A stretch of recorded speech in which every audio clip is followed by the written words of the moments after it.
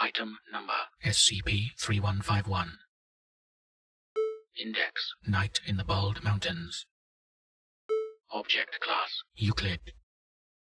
Special Containment Procedures. SCP-3151 is surrounded by an electric fence and is listed as federal property in all public records.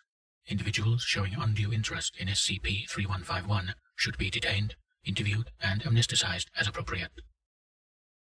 Description SCP-3151 is a roughly 0.8 km by 14 km region of the Bald Mountains in Tennessee.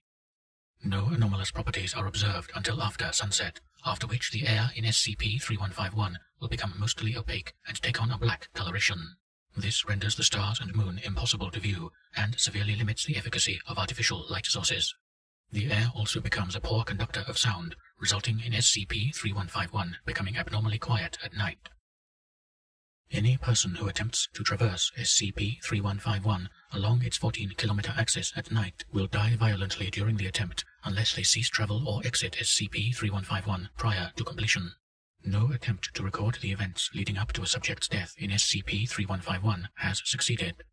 Live audio and video transmission have provided no useful information, while other recording or transcription devices were found destroyed.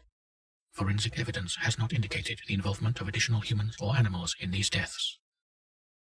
The cause of death varies between cases. Historically, death has occurred most often in one of the following ways. Hypothermia.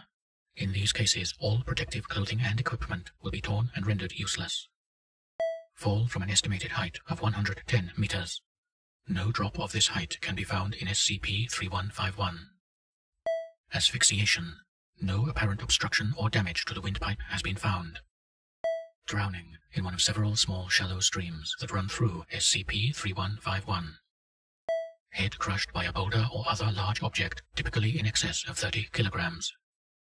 Impalement on a tree branch. Electrocution.